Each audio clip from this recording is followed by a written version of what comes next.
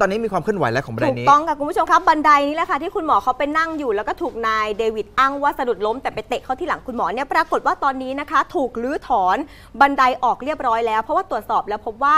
รุกล้ำพื้นที่สาธารณะค่ะ ทางเทศบาลตำบลป่าคลอกนะคะ จังหวัดภูเก็ตเขาก็ได้มีการนำเครื่องจักรต่างๆนะคะ ไปลงพื้นที่ก็คืออย่างที่เราทราบกันเมื่อสักครู่นี้ก็ตรงบันได ที่บอกเมื่อสักครู่นี้ที่คุณหมอเขานั่งอยู่นะคะนำเครื่องจักรต่างๆ ลงไปทำการรื้อถอนค่ะ บันไดคอนกรีตแล้วก็ลานไม้ใกล้เคียง ที่มีการลุกล้ำพื้นที่สาธารณะที่หาด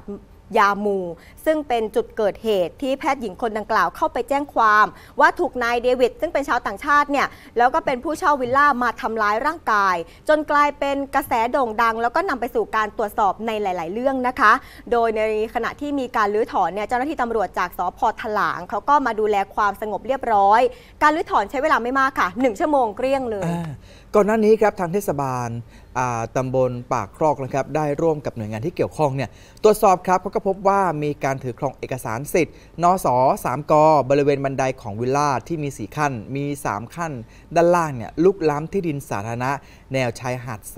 หาดทรายสาธารณะนะครับหรือชายหาดยามูตำบลปากครอกอำเภอถลางจังหวัดภูเก็ต และมีคำสั่งให้รื้อถอนภายใน 30 วัน ตามหนังสือหนังสือครับคำสั่งปิดประกาศที่ติดเอาไว้ และตอนนี้ก็ เอาออกแล้วเรียบร้อยนะ